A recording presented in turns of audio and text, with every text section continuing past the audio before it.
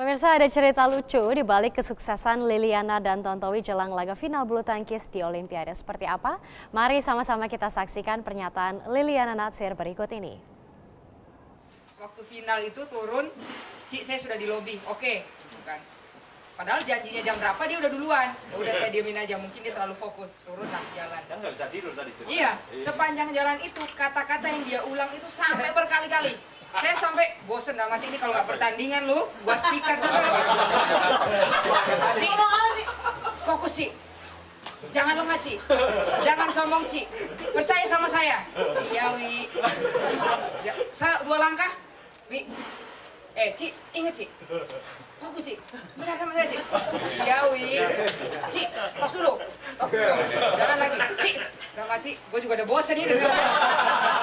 Pertama semangat, lama-lama bosen juga nih. Sampai di hall, sah, eh Ci, bisa Ci? Iya Wi, tenang, kalem, rileks. Ya Ci, mau main? Ci, saya tegang. Mari.